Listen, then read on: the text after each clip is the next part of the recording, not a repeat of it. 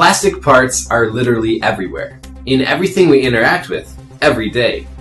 Most of these parts were probably injection molded, which makes this a huge industry. SOLIDWORKS recently introduced a brand new module with some powerful features for this industry, and it's called, quite fittingly, SOLIDWORKS Plastics. Please enjoy. Understanding how plastic parts gets filled is a huge insight when it comes to manufacturing. Injection molded parts are literally everywhere, in every machine. SOLIDWORKS recently introduced a brand new module called SOLIDWORKS Plastics, which allows you to see the flow patterns in real time across your injection molded parts. What this is, is this is a highlighted area showing us the fill, pressure, stress, ease of fill, sink marks, and a host of other data that we can collect using SOLIDWORKS plastics. We can see here the real-time flow patterns, which easily show us where air pockets could get trapped and knit or weld lines can form. SOLIDWORKS Plastics is an amazing tool that is really going to give a lot of insight to the designer of plastic injection molded parts like never before. It automatically calculates the fill pressure, fill time, and lets us know if our gate selection is going to be okay for injection molding. Here we can see the weld and knit lines colored. So these are all areas that could be potential weak points or potential blemishes on the surface. We can also show lots of useful things about the injection molded parts. Here, as we watch the flow go across, we can highlight to see the air traps. You can see here the purple bubbles these are where air could get trapped and can cause potential problems on the surface. We can show a combination of air bubbles, knit lines, velocity, vectors, and there's a handy results advisor that lets us know in plain English if our part can be filled or not, and what the pressure and fill time should be to get this part created. We can capture all this information automatically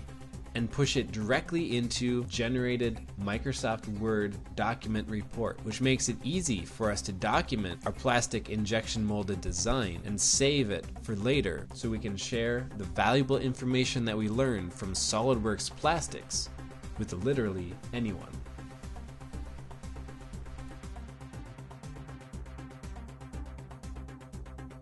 Let's take a look at the interface. This is a part we've designed, and now we would like to run a check on it for manufacturability using SOLIDWORKS Plastics. SOLIDWORKS Plastics has its very own tab to keep everything you need right at your fingertips. All we need to do is choose the polymer we'll be using from the included database which lists technical data breakdowns of each polymer.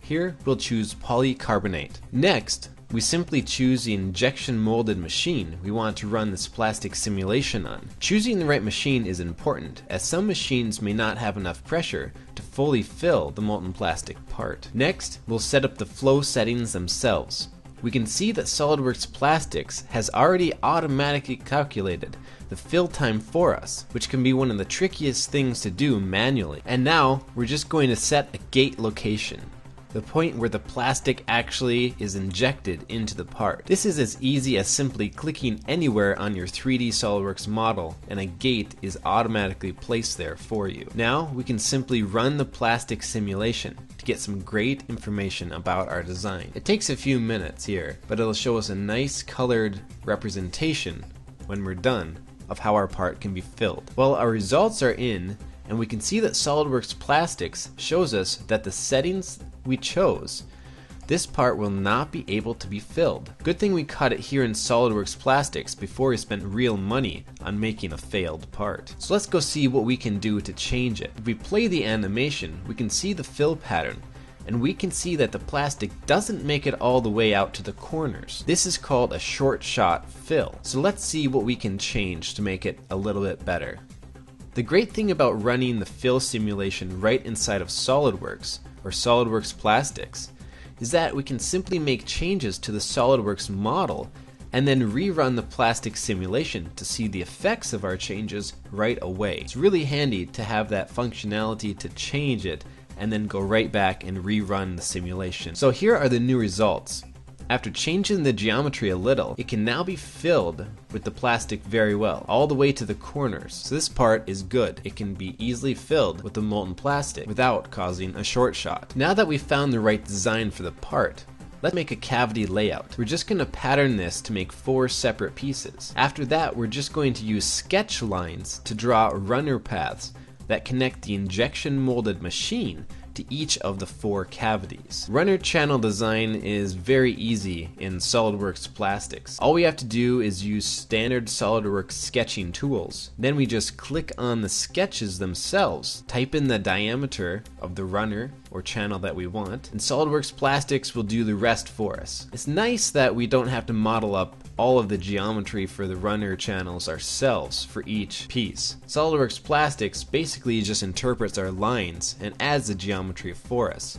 And this saves us a lot of time. So let's go run the analysis to see if our four cavity fill results are going to be good or not. So here we can see that the same type of error occurred as before where we don't have enough pressure to fill all four molds at the same time. So what can we do? Let's see these results in detail. We can see that it barely fills at all, probably cooling down too fast because of the runner size that we chose. It's nice that we can kind of see this, and you can actually see the plastic creeping in, cooling down, and then finally hardening which will restrict the flow and ultimately shut off the gate itself. So to accommodate that, let's increase the runner size and rerun the analysis.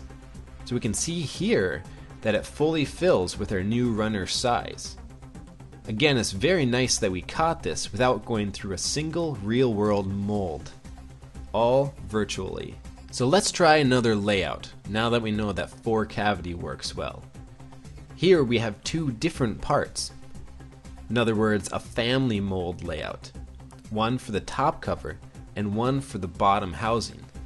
This is a very common way to make parts, as the plastic will look the same both on the top and the bottom if they're shot at the same time. So we'll do the same thing and add the runners very quickly, just by selecting the sketch lines that we drew here, typing in a diameter, and we're done. When we run the analysis, you can see that the part on the left takes a little bit longer to fill than the part on the right. This can cause a lot of potential problems when we run it in real life. You want both parts to fill at the exact same moment. Luckily for us, SOLIDWORKS Plastics has a nifty little feature to fix this automatically for us. It's called runner balancing.